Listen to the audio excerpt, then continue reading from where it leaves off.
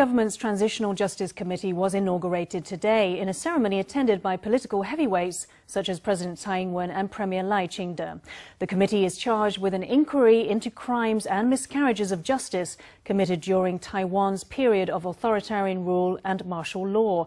It is expected to publish a report on the implementation of transitional justice within two years.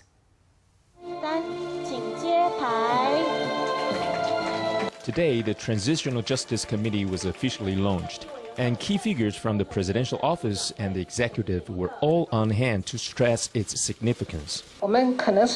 This may be the last generation when both the perpetrators and the victims of the authoritarian regime are still living together on this island. If we do not do this now, we will forever forego the opportunity to do justice to history. It's time to make a clean break with the authoritarian era. This is a necessary step to consolidate Taiwan's democracy. Former Control Yuan member Huang Huang-hsiung will chair the committee.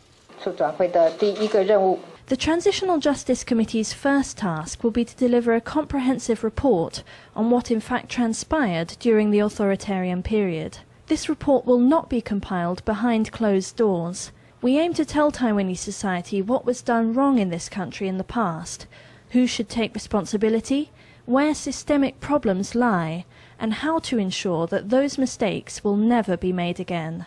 The committee is tasked with submitting a comprehensive report on national transitional justice within two years.